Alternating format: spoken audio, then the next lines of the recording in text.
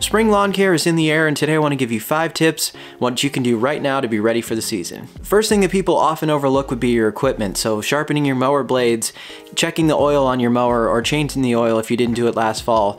Spark plugs, maybe cleaning up your mower too from last fall season when you didn't get it done. Those types of things are often overlooked, but spring is a great time to do that so you're ready for the entire season. The second thing would be if you're going to do a soil test this year, doing that before you apply anything to the yard in the spring would be a great thing to do. I just completed a video on soil testing, so if you'd like to learn more about that process, how to go about that, that video will explain the steps for you and how to get that soil test done, and also go through my soil test and kind of what I found after I did my testing this year. So if you learn nothing else from the test, learning your pH and also your nutrients and what you're going to be looking at for this season in terms of fertilizers will be invaluable going forward. So definitely check out that video on soil testing and I highly recommend doing that before applying anything this spring. Number three would be your pre-emergent. So some of you down south or maybe in the transition zone have already thought about doing your pre-emergent or you already have it down. So for those of you though in the Midwest or north of me, our pre-emergent window here of soil temperatures of 50 to 55 are going to be coming up pretty quickly here. So you're gonna wanna get that pre-emergent plan in place. I also have a video on this from this season if you'd like to learn more about the types of pre-emergent,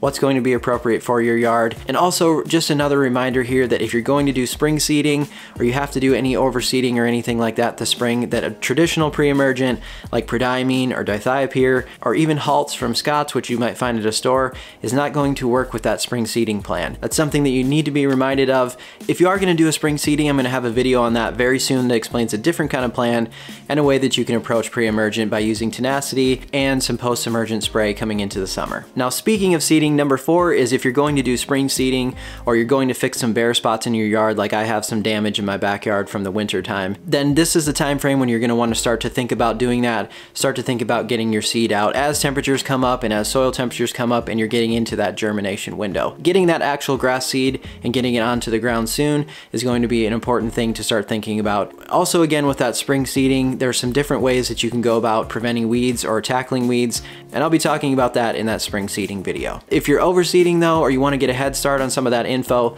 last year's video on spring overseeding is going to give you the info you need there too as well. So number five is gonna be a culmination of some questions that I've been seeing recently, which is about dethatching in the spring, when to do your first mow, when to start applying fertilizer. So for those of us here in the cool season zone, some of you like to dethatch in the spring. For me, I would recommend you wait until you're starting to see some green up and you're starting to maybe mow a couple times so that you don't put too much stress on that still dormant lawn. Otherwise, if you don't have a major thatch problem, you can wait until the fall time if you'd like to do that. And your recovery window in the fall is usually going to be ideal compared to in spring we want to be careful about our cool season lawns here, not put too much stress on them going into an already stressful summer. Number two would be when to complete that first mow.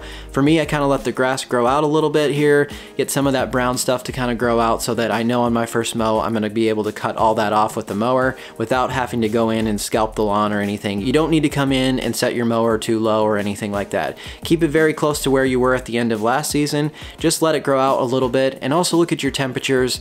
Once I'm not getting into the low 30s or seeing any more hard freezes and temperatures are starting to go up, that's exactly when you can start to think about your first mow. The grass is pretty resilient, so you don't have to be too crazy about it, but those are the general things I would look for with a first mow and when to complete that. As far as fertilizer goes, if you're following a plan like I'm using in my cool season guide, then last fall you were applying fertilizer and setting yourself up for the basis of this season. If you didn't apply anything last fall, or if you're on a spoon feeding program like I am on my low cut turf, then you can think about a light application of fertilizer once you're starting to see green up, or on my spoon feeding program like I said, after I start to get mowing, then I can start to spoon feed again some small amounts of fertilizer and get back on my program. So if you'd like to follow my cool season guide and a plan for this season on your cool season lawn, then definitely check that out. For those of you down south, if you've got Bermuda grass or zoysia grass, then you've probably already done your scalp, or you should be thinking about removing all that dormant material that's there from the winter, and your fertilizing season is going to be going into the spring and the summer as your ideal times for fertilizer. So be thinking of those things down south, I'm betting you probably already are. But for those of us up here in the north, I know we're just kind of getting our season going and I'm sure you're all excited about it. I also have a renovation and overseeding guide that I just completed.